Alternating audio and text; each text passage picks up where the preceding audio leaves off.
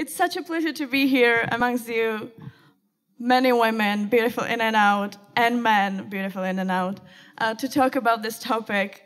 Um, because it's, uh, it's an, really an honor to be invited. Uh, and thank you, Kiwi, for including something like ethics, something sounding so ungraspable and so kind of far from what you are doing, probably. Can I just ask you, scan audience, who codes anything?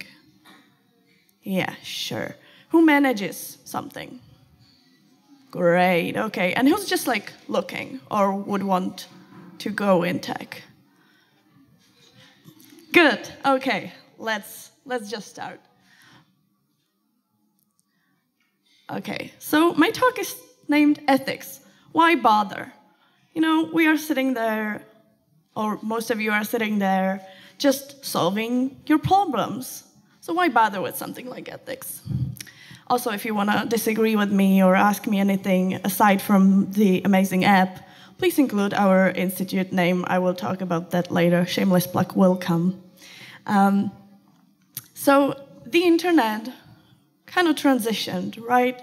A long time ago, actually late 80s, early 90s, into a commercial use, uh, which meant um, it fragmented and platforms appeared. I will be anchoring this talk about ethics on platforms because, because we all can imagine what those are and they're kind of right there, we all operate within them. And I will also be talking in simplified terms and also for the sake of time, because I will really try to keep that, and also uh, from the point of the user. So if you use it, if anyone uses it, what does that mean for the user? So, platforms, right? They are businesses. They need monetization, which means they need relevancy for the user, which means they aim to retain that loyalty by ensuring that relevancy, by serving content that is relevant for the user. So it collects data, it processes them, it analyzes them, and then we get to the first kind of point. None of these are critiques, it's just something to think about. So we are entering an age in which most of us have a digital shadow online. We have a digital profile, we belong in some sort of group. And there are scholars and even, you know, people like you questioning our right to privacy. You must have heard it a million times, I'm sure, but it's, it's an essential one to deal with. It's not resolved, it's not clear, there is no clear way how to you know, save it or ensure that. Um, but there is this one issue. We will continue, and then I'm very interested in your questions uh, at the end. Um, so, with customization of the content to ensure relevancy and predictive algorithms, we are also effectively serving people, you know, what, what we think they think.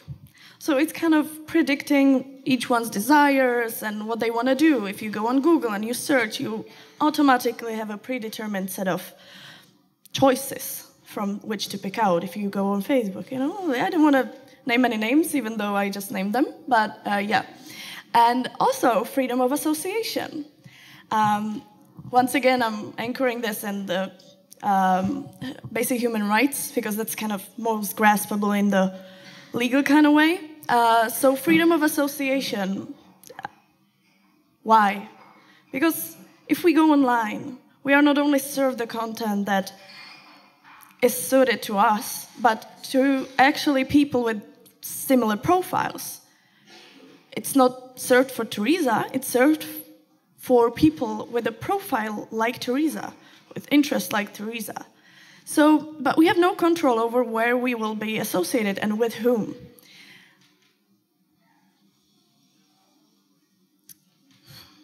click, click. So that's why I say mass media are not that, you know. They are just not. It's just a different kind of mass.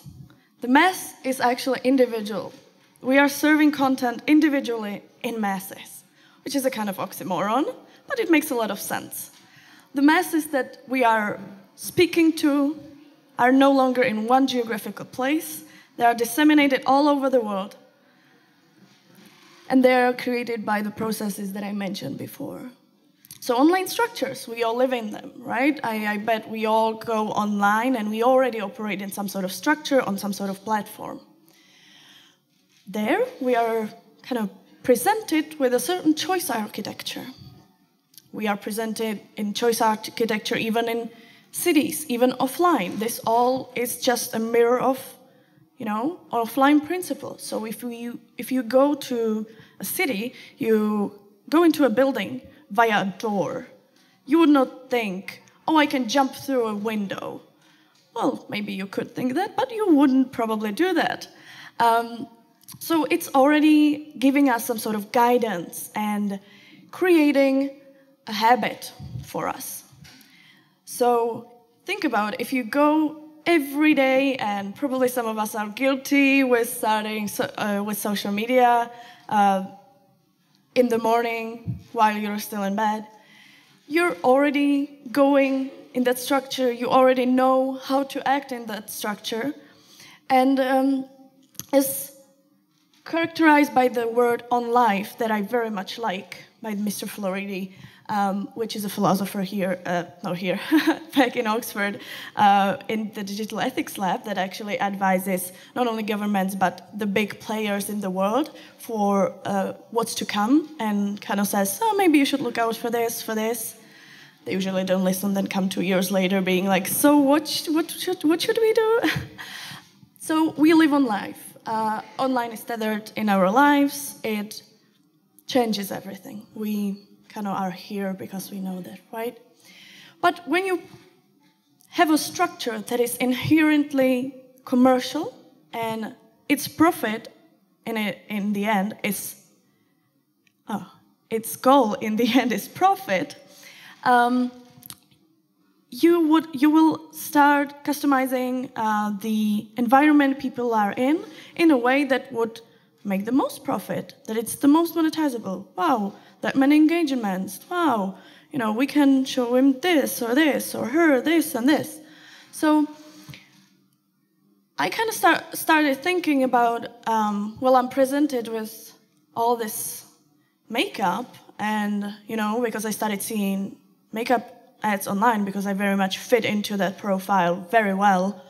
Um, and then I started going into and actually kind of studying in my free time, like special effects makeup. And I, I once I, I just stopped and I asked myself, how did I get here? Like, I enjoy this very much, don't get me wrong. But how did I get here? I would never go into such a thing. Shouldn't uh, if I if I didn't, you know, if I wasn't nudged that way. But this is a this is a great example. I very much I, I like. I explore this this area. But um, ask yourself, what else can this nudge? It it creates a habit, and habit is such a powerful tool to actually change behavior of a person. But by changing a behavior of a person via one percent, for example, like the angle of one percent, where do you lead the whole society if it all adds up? So as the latest airport book uh, by Covey uh, says, we become what we repeatedly do. It's the power of habit one. And I very much agree with that. And that's why we are, okay, that's why uh, this whole introduction kind of had to be said. So now, what do we want from algorithms? Oh, you know, sort through the information, deliver some sort of uh, result. But then we have to see the convenience trade off with the golden cage trade off. Where does it stop? Where do we stop the hyper personalization actually? Well, we just have to ask who do we want to lead us? Them or us? So, where does it cross the boundaries between being convenient and makes us less human or a different kind of human that we would be without them. This I found this morning. I found it quite interesting because it's, you know, you listen to all of that And you're like, yeah, but you know, we have the terms and conditions. Like, this is not our secret stuff. Of course it's not. But everybody goes there, everybody just clicks, gives the consent. And this is, by the way, from Planned Parenthood. I don't know why Planned Parenthood would have fries in there. And uh, i was just so confused that I had to put it in. Uh, because it kind of, I can make some points on it. Because it's freely given, yeah, that should be, that should be. Um, nobody pressures you to use these things and the internet as a whole, um, however necessary it might be right now. um, reversible. Is it though? You know, with all the black architecture, you cannot really opt out. Um, but that's that's just because it's fries. Then informed. That's the main one I want to stop at. The informed one. Um, not only people click and usually don't read them, uh, also guilty as charged. But um, how can you understand, as a person that operates in the normal world outside of this room, or even you and me, what the algorithms go off and how do they function and what implications do they have? That's the main big issue. Uh, enthusiastic, yeah, I'm very enthusiastic when going online. I don't know how about you. And specific, that's another one. Given that most algorithms and AI um, is a black box, how specific can we be while still being understandable and comprehensible? So that's the point that leads me to is there really an awareness about these phenomena taking place? And how are, how are they disclosed? What kind of transparency is in place? There is a wild debate about transparency of algorithms, explainability of algorithms, you know, bias in algorithms, all of this. I want to focus more on the impact of, of, on the user, on, on each individual, because if um, the disclosure is not comprehensible, it's not really transparent at all. And if you, you explain it in the terms of a software engineer to first grader or a high schooler or my mom or my mom's friend or anyone, um, it's not really, it's not, it doesn't tell them much, right? We need something more. Um, so that also leads me to, uh, because human rights are built on human dignity and underpinned by human dignity, that states that, um, uh, you know, you should be informed um, and you should know which codes you obey by and uh, in order to pra practice self-determination. As we said before, in order to choose where you want to end up and ask, how did I end up here? And not be led there. So we see ethics and values. It's, it's a big one because one influences the other.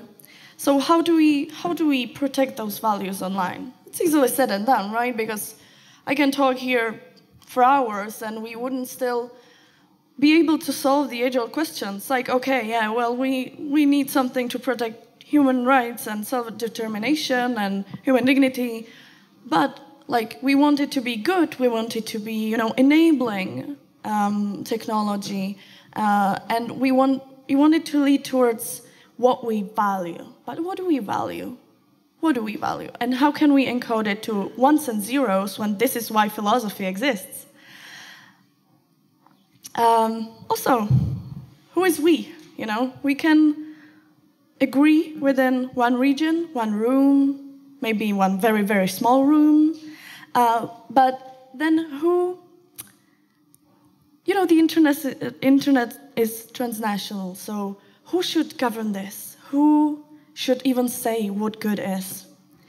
Um, so we are uh, we are witnessing shifts in um, in our lives right now, and in in uh, in the dynamics of the world we live in. So grand, but it's true. Um, here we go, in bold. Um, so for example, I think that the law of con conservation, uh, which you know holds for mass and uh, all of physics, holds online too. It does. It, it actually holds throughout our lives. Um, but we need to ask, what is shifting them? And where? So we already mentioned this multiple times, but you know, reminder is always good. there are shifts of power, uh, shifts of power over who gives us and encodes the values within a system. There are shifts of accountability. Who protects that? Who is responsible for the impact? Is it still nation states?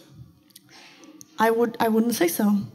We are witnessing nation states kind of weakening by inter international corporations and big, big platforms that deal even with such things like, you know, even conflict resolution. We have courts for that. If you buy something, it's not delivered, you go to court, it's resolved, you're happy. But if you buy something now, if I buy something now from Amazon, it comes, or it doesn't come, it's damaged, or it's not there at all. I'm just gonna go through escalation of the conflict resolution on Amazon, and it's cheaper for everyone, transactionally cheaper, even you know time-wise and all of these meanings of the word, cheaper. Um, to just for Amazon to just pay you off, give you the money back, you know, maybe suspend the suspend the buyer. But it goes completely beyond um, nation states. It's virtually another layer of this sort of system in our society right now. So, do we really obey the code of law um, anymore? How, how effective is it? Especially in these areas where ethics are, are involved. There is already a theory, very good one, uh, by Lessig from 1999 um, that code is law right now. We don't realize that, but in each age, we have a different regulator. But we are so focused on protecting ourselves from the government, from having privacy from the government, from um, you know the nation-state narrative, that we forget that there is something completely else we operate in that actually regulates us right now. Oh, this is a fun one. You cannot even see that, but I have a bonus round. If that wouldn't be complicated and abstract enough, there is. Difficult to regulate due to nature, because it's always changing, law is too, too slow, innovation is too creative. Cross-jurisdictionary, transnational, it's always, it's always bad. Um, nation states are not even you know, agreeing on basic tariffs for phone bills. Pseudo-privacy, yeah, we can private, uh, uh, anonym, anonymize data, but you know, basic triangulation, five basic facts, you get the person. Data flows. Huh, we, want health, healthcare everywhere, but what about nation states and big amount of data within healthcare? Power battle. There is a cold war going on in between states, in between regions, USA and China. um, governance structure. Again, who are we? How do, how do we you know, our biggest achievement in, in Europe is European Union, and it's still messy and it's still problematic, even though very good. Um, bias and applicability, and then we go to the granular thing. What about data sets? It's not really transferable. Bonus, bonus round. We want it to be fair. What does that mean? Is it we want it to justice for everyone, or do we want everybody in, in, inflicted, not inflicted, impacted by the same injustice? Not really, right? So universality is hard. Context is everything within AI, within algorithms, but especially within um, defining our values. And then we define it and we need to apply it. But internet does not stop outside of our home, right? Um, so we haven't solved the principles of morality offline. I would just like to stress that. It's an ongoing situation and debate. So, you know, how do we encode it? How do we put it to binary? So what? We are a business.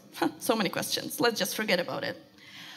Yeah, I am getting the stop and I have like two, wait, I have like very quick, let's let's take away from one question and, and finish this. You know, fuck everything. Money is fuck, fuck ethics. Money is everything. This is coming from Facebook engineers.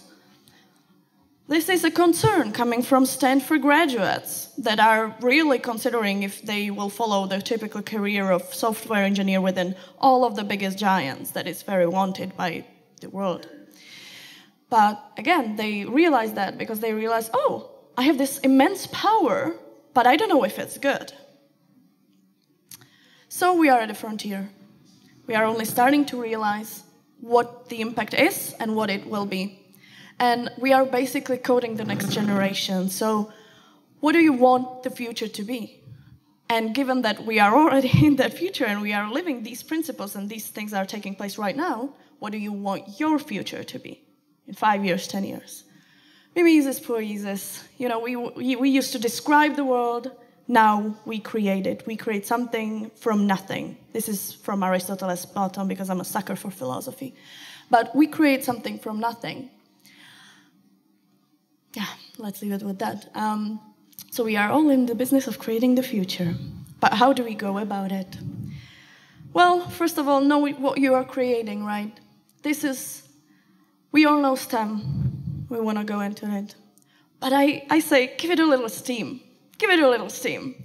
We need include arts into STEM. We need to include sociologists that observe the changes that are taking place caused by one line of code. We need linguists, philosophers, psychologists, all of these to understand. Shameless plug here, that's what we do in our Internet Institute in Czech Republic. We kind of bridge them because multidisciplinarity is key, and I'm very, very glad to see speakers here that come from political science and all of that. I studied marketing, then I studied economics, and then social science of the Internet. Now I'm into law, so choo choo. let's go hop onto the train. um, yeah, our age is the age of design. Let's make it a good one. And last of all, the challenge is not motivation, but governance of it. So think about the impact you have if you code something, if you manage something, some teams. What do you code? Who do you hire? And um, this one, great powers, great responsibilities, all of that. But it, it applies. We are badasses. If, uh, even if it doesn't show in your quarterly performance numbers. So yeah, that's it. Thank you. I'll join you on stage for some questions. Um, so I will again take a question from the app and also the question from the audience. Uh, I would start with a question uh, asking like how you deal with your personal data uh, and digital space. So do you have some recommendations saying, okay, so this is the first thing you should disable in your favorite app? Um, What's your recommendation regarding the data? I'm, uh, I'm starting to think I'm the atypical one because my personal, personal opinion is I just let everything flow. I am the person, and I know this is not the case for everyone, but I am the person, to be honest with you, that opens everything and is like, they're not interested in Tereza, they are interested in my profile. And I'm conscious about what's taking place, how they are being handled, so that's why I choose to open the data, to enable technologies to get better. But I am creating a relationship with the system. I know what's happening, so I can critically review it and choose if I want to function within those structures or not. But for people that are privacy oriented, I would say just read everything, uh, or at least get get to know the platforms you're working uh, working on or operating within the most. Maybe disable some things that you are not in, interested in or you don't want to happen. Because that's possible. You have the right to do so. It's just the reading. That's problematic right now. We're working on it. We're working on it. How to simplify that. Thank you very much. Uh, and then a question from the audience. So there is one over there. Yes. Uh huh. Yes, you, you, you. Uh, thank you. Here's the microphone. You look at it. Yeah get the microphone and just put it close to your mouth. Yes. Okay. Thank you. I would like to ask you, do you think should there be more government regulations about uh, the internet, about the programming and so on, or it more depends on the programmers? What do you think? First, of, thank you. Very relevant. First of all, I think everybody should realize what the impact is. That's the first step because that's not really the case right now. More regulation, less regulation. You know, we want to future proof the regulation. So we regulate by principles and not by banning stuff that never works. And innovation needs to thrive as it thrives right now. But I am all for less, more meaningful regulation in the sense of, for example, now European Union is kind of taking the power back from the companies by, for example, assembling the um, expert level group on AI ethics, which produced principles, guides. They are not perfect, nothing will, and no regulation nowadays is, but those are kind of guidance. So I would say yes. Um, I would say it's it's 50-50. It's you know, the accountability and responsibility is on each and every programmer and also the regulators. But I would say less regulation, more meaningful, you know, and especially if it um, resonates with the, for example, nation states value. Nation states still have power over um, the companies, for example, in Germany, the content takedown um, regulation. So, yeah, I, I think I'll leave it at that. It's a long, long debate we have. Yeah, thank you very much. Uh, thank you. Thank you once again.